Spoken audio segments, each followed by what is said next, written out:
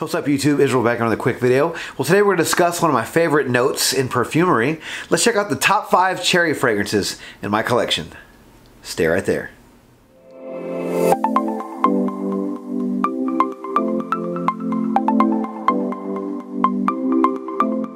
Alright, before I get started, just wanted to remind you guys to subscribe to my channel and turn on notifications for future countdown videos and fragrance related content just like this. All right, so starting things off at number five, we have an Oriental Woody fragrance. Uh, this fragrance boasts cherry, almond, leather, tonka, and vanilla. Uh, it's sweet, nutty, powdery, and aromatic. This one also has above average performance. From the House of Guerlain, we have L'Homme Ideal EDP. All right, so coming in number four is an Oriental vanilla fragrance that really does remind me of Oajan from the House of Parfums de Marly or uh, Ambre Narguilé from the House of Hermes. Uh, this fragrance has cherry, white tobacco, tonka, coffee, and spices. It's uh, warm, spicy, and sweet. Has above average performance as well. From the House of Olfactive Studio, we have Close Up. All right, so coming to the number three spot is a very, very popular fragrance in the uh, fragrance community. It is an Oriental Woody fragrance, probably the one of the most popular fragrances of the entire house. Uh, this fragrance has cherry, tobacco, honey, raspberry, and vanilla. It's sweet, fruity, powdery, and super sexy. Has a very uh, good performance as well. From the house of Kilian, we have Back to Black.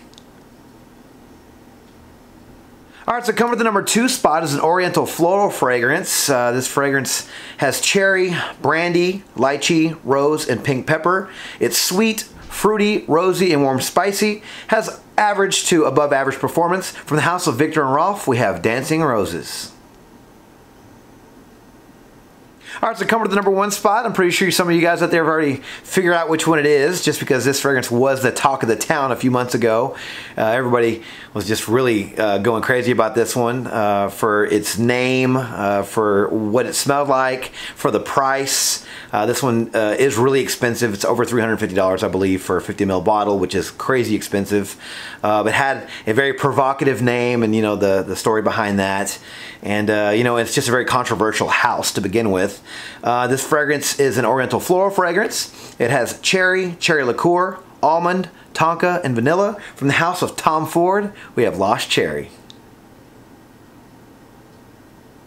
Yeah, so Lost Cherry is definitely my favorite uh, cherry fragrance in my collection. Uh, it is very sweet super super deep with the cherry i mean they have the cherry liqueur and the cherry note it's just all about the cherries i mean it's a red bottle it's just very sweet, uh, candied sweet almost. Goes into a nice powdery almond note that, you know, makes it really stand out in the air. You get like this nice kind of uh, almost like cherry powdered donut kind of smell. It's, it's just really nice. Again, super expensive. Not really uh, going to recommend you guys go out there and buy this from retail. I did get a great price on this bottle. So um, if you get, get, you know, get a lower price on this bottle or find yourself a decent clone, I think there's a couple floating around out there. Uh, maybe try that one out, save some money. Um, but this one is uh, probably my favorite cherry fragrance right now out of my collection. Um, it really is uh, worth talking about. I, you know, it stands out. It has great performance. The thing lasts all day on my skin. Um, so, you know, it's definitely going to be my number one spot for my cherry list. Alright guys, so what are your favorite cherry fragrances in your collection? Please leave your list down in the comments below. Alright, thank you guys so much for watching another video on my channel. If you like this video, please subscribe to my channel, turn on notifications for future countdown videos and fragrance related content just like this. Don't forget to follow me on Instagram, Dollars and Scents. There, you'll find fragrance-related photos and future contest winners. And as always, until next video, you guys take care. Thanks.